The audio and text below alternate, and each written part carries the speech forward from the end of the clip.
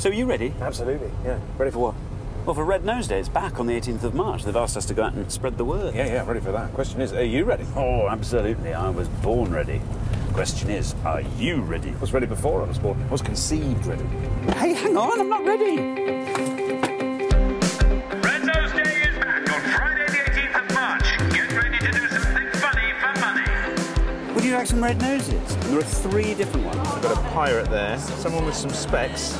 And there's this one with funny teeth. Where do you get these from? You can get them from Sainsbury's, from Oxfam, or you can get them online. Or that one for your car. Vivienne Westwood designed t-shirts, now available in TK Maxx. Wrong signals. It's a punk. You got the bard.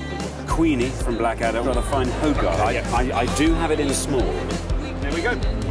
Of course, you know where I'd go if I was on the internet. Go on. You click there, you get your free fundraising kit.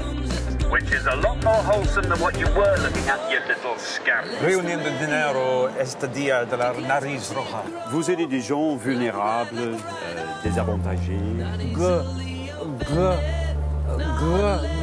Jambalaya? Dos Equis? Flan? I have no idea what you're talking about. Ah. Lenny Henry. I don't know what you're saying, but it's not Spanish.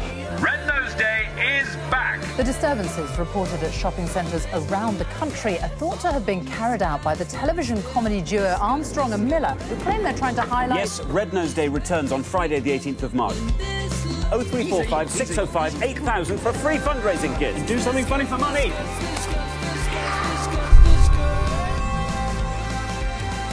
How about you? What are you doing for comic relief? Either climbing Everest or dressing up as Kylie.